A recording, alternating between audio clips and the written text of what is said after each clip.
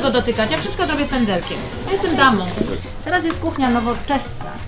Sypię pietruszką, ja